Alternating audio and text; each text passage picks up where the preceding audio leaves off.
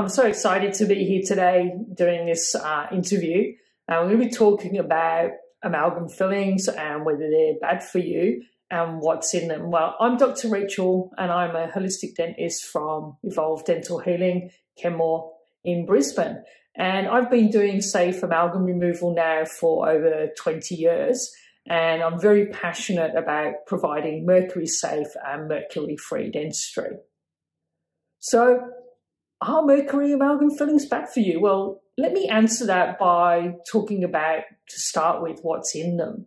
So what's in those mercury fillings? Is it just mercury? Well, no, it's not just pure mercury. It is actually called an amalgam filling because it's a combination of metals. These include silver, mercury, tin, copper, and zinc.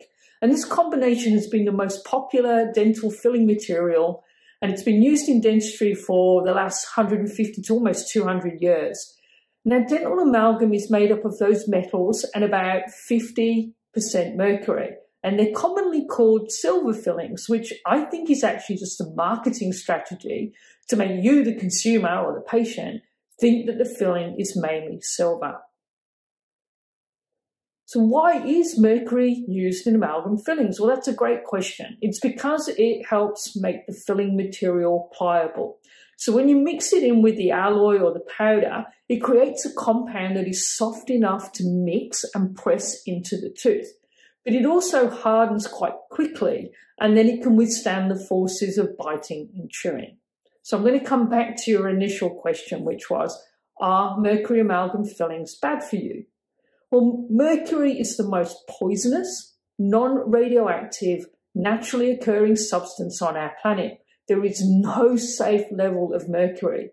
Mercury is actually one of the most toxic neurotoxins and it easily destroys brain tissue. It's a scientific fact that toxic mercury vapor is continually released from the amalgam fillings. Even dentistry admits that. This causes an accumulation of mercury in the body over time, and the body loses its ability and its effectiveness to remove mercury because of the overload.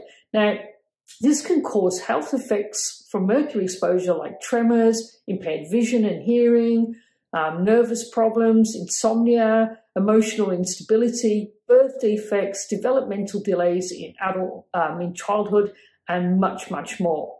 How does mercury and amalgam filling affect the body? Well, if you have amalgam fillings, then every time you eat, chew, visit the dentist and get a dental clean, get dental treatment, or you drink a hot drink like coffee, then mercury vapors are released from the filling into your oral cavity where they're absorbed into your bloodstream, causing damage to the lungs, your kidneys, the nervous system, your digestive, respiratory, and immune systems as well.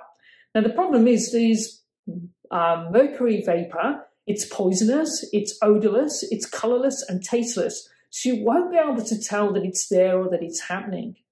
Now, a single dental filling may release as much as 15 micrograms of mercury a day.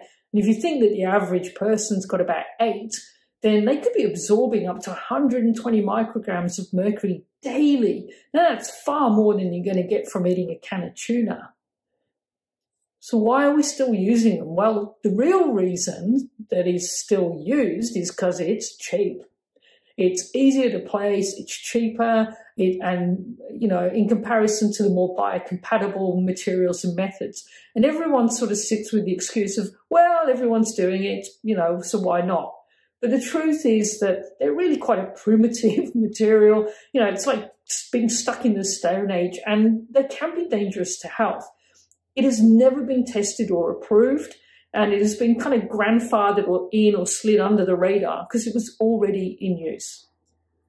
Can amalgam fillings be removed and replaced with safer, more natural biocompatible materials? Absolutely yes. But the procedure must be done with extreme caution and care. Many people now are deciding they want to have their silver amalgam or their mercury fillings removed. But if the procedure is not done right, it can cause a tremendous amount of mercury to be released and absorbed by the body, and that can make you ill. To help prevent this, safety precautions have to be used, like the ones we do in our office, so that the patient won't swallow or breathe in mercury vapor while the fillings are being removed. Now think about it. Mercury vaporizes at room temperature. So as soon as we touch the filling with the drill, the temperature soars and the mercury vapor comes pouring out of the fillings. Then when you take a breath, it goes right into your lungs.